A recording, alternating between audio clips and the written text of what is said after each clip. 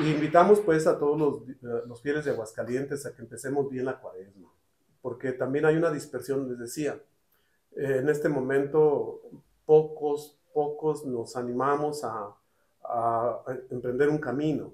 Eh, les aseguro que aquí por estas calles los fines de semana están llenos de, de jóvenes y también es una invitación para todo el mundo para que se prepare.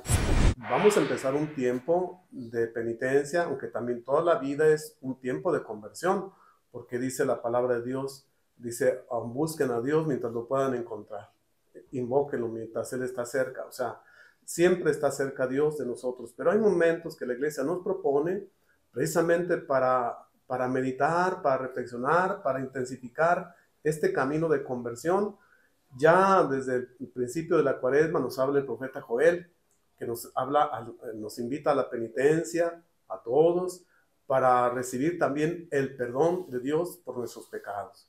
Pero siempre nos lleva hacia la Pascua. La característica pues de la, de la cuaresma es la oración, la penitencia, el ayuno, las obras de, de caridad.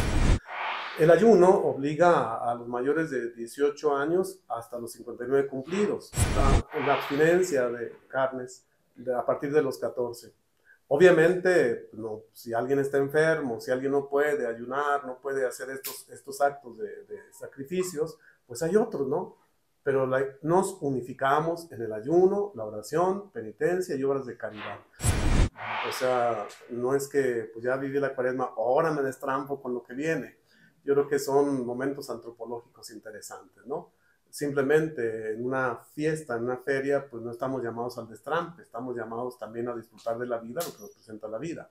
Hay cosas muy bellas, hay cosas que no son tan bellas, hay cosas que se tienen que evitar, hay cosas incluso que se tienen que promover. Entonces, más bien que Dios nos ayude a ser, primero, que nos entendamos a nosotros mismos, que requerimos a Dios, que requerimos un camino de conversión siempre independientemente, de fiestas, de feria, etc. Y luego que la vida tiene diferentes momentos y saberlos encauzar, saberlos vivir, nada más.